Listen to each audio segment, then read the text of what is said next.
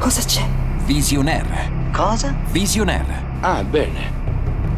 Si può tentare un'associazione di idee. Cinema.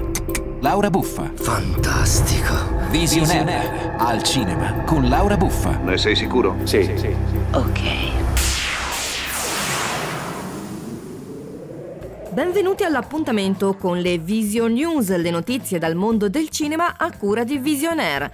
Ingrid Bergman è la protagonista del poster ufficiale della 68esima edizione del Festival di Cannes che si terrà dal 13 al 24 maggio. La manifestazione quest'anno rende omaggio alla grande attrice nel centenario della sua nascita, definendola icona moderna, donna libera, attrice audace. Intanto in occasione della sua decima edizione il Festival della Capitale torna a chiamarsi Festa del Cinema di Roma e si svolgerà dal 16 al 23 ottobre. Sotto la direzione di Antonio Monda non ci sarà nessun concorso e nessun premio. È prevista una sezione unica con una trentina di film, anteprime mondiali ed europee. A proposito di festival, il docufilm Una meravigliosa stagione fallimentare di Mario Bucci ha vinto la dodicesima edizione dell'11 mm Football Film Festival di Berlino. Il documentario racconta come un anno fa si è chiuso uno dei periodi più lunghi e controversi della S Bari Calcio. La società avviò le procedure fallimentari, un colpo al cuore per la città ma anche un momento di rinascita.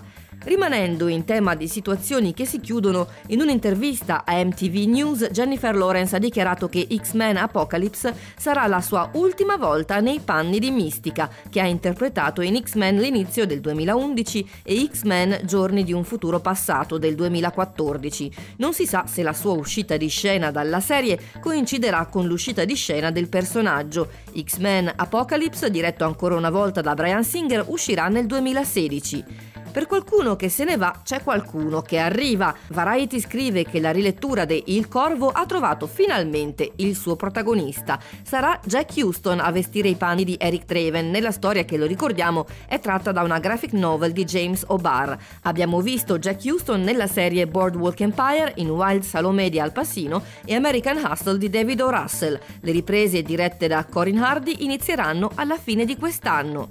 Per il momento è tutto da Laura Buffa, ma se volete rimanere sempre aggiornati sulle novità dal mondo del cinema, venite a trovarmi sul sito www.visionaire.fm. A presto e buon cinema a tutti!